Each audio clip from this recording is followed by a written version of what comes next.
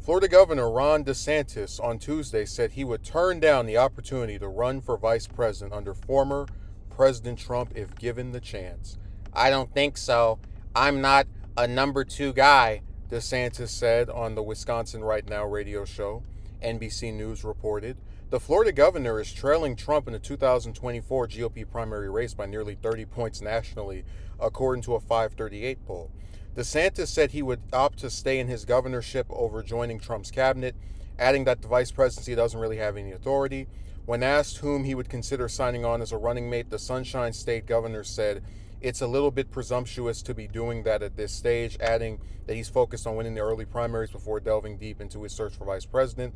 The DeSantis campaign struggled to gain traction has set off alarms among Republicans who expected a better performance from the candidate, with a spokesman of the pro DeSantis PAC never backed down, referring to Trump as the runaway frontrunner earlier this month.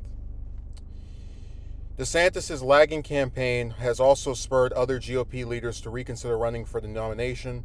In addition to leading DeSantis at a national level, the former president is also outperforming the Florida governor in polls of Sunshine State voters. The feud between DeSantis and Trump has reached a boiling point in recent weeks, with Trump bashing the DeSantis campaign as being in total disarray following the governor's rally in New Hampshire earlier this month.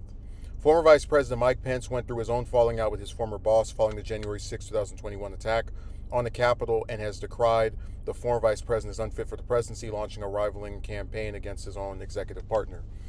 This is one time where I think. Uh, DeSantis might be on the money as far as we know that the vice presidency really isn't a position with any assigned role. It's basically just wait around for years in the event that something happens to the president. Of course, there have been um, influential VPs like Mondale and Cheney, but generally speaking, it's not a position that really lends itself to someone that's trying to get something accomplished or done, and it's just there for uh, the sake of consistency or, uh, I guess, transitioning of power.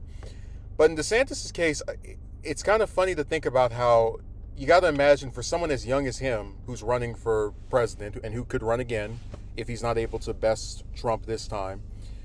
Um, you would think he'd want to be part of what could be considered the winning team in the event that, let's say, Trump wins these states, but then picks him because he's from a big state that he can count on or that he wants to make sure is under um, lock and siege.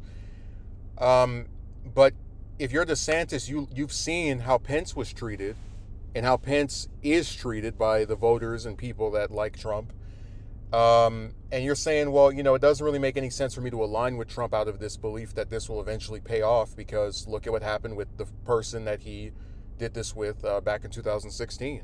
So I think it would be in the best interest of his career to probably, in the event that he doesn't win the nomination, which I said before, I don't think he will at this point, um, just go and serve out the rest of his term as governor. Probably run for senator at some point. well, I don't know if Scott or Rubio are going to get out of the way. I, I don't. I, I, think Scott would be more likely, but you know, he'll. What what I think will be his best trajectory is if he loses the primary, he decides to serve out the rest of his term as governor, and then you know he gets some little goofy job on Fox where he goes and gives his commentary on the news, he keep his name out there, sort of uh, and then runs again as a private citizen in 2028. That's that's really the only theory I can draw up for what would be a good idea for his for his career. Because I, I don't think him being VP would turn out to be fruitful for him. I think Trump will remember his slights when they ran against each other, and will find ways to basically make the job just miserable slash inconsequential as all hell. Um, which is kind of ironic because you can kind of see the writing on the wall when you look at the 2016 primary, how early on people were saying that Cruz could be Trump's running mate. Uh, and of course, who he ultimately did pick was someone that, did, that didn't even run for president at all. So it almost feels like Pence's campaign is just like a, a, a like a, a, a half baked attempt at revenge against Trump for the slight. But yeah, DeSantis is someone who I think, if he plays his cards right, can get a bright future in politics. Um, but I, I just think he's his campaign was overhyped before it started, and it is crashing and crumbling day after day. I've seen more of a positive response for that Ramaswamy guy than for for the current governor of one of the largest states in America when it comes to running for the Republican nomination. That, that's how backwards this stuff has gotten.